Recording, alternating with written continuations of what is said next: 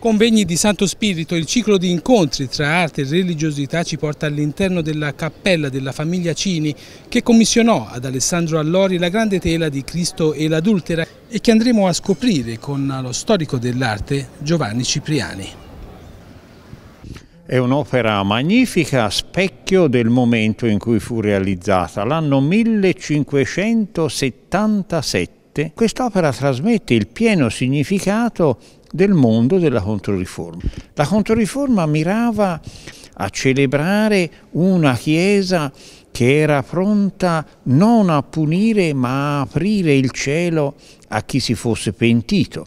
Gesù Cristo perdona questa donna, eh, viola in un certo modo la legge mosaica, gli consente di continuare a vivere anziché essere lapidata come gli avevano chiesto. Ecco il messaggio che viene costruito, un messaggio straordinario di maggior apertura, di maggior tolleranza.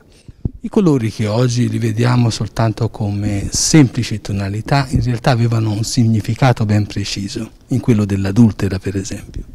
Colori sì, molto belli questi usati dall'allori. Noi vediamo l'adultera con questo abito splendido e questo ci richiama a quelle che erano le leggi che Cosimo I aveva emanato e che erano ancora in vigore appunto in questo periodo, 1577.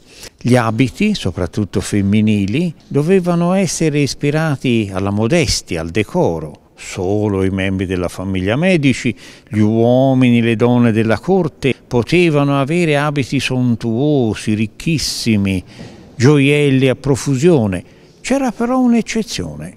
Le prostitute erano libere di mettere ogni tipo di abito, avere anche gioielli vistosissimi.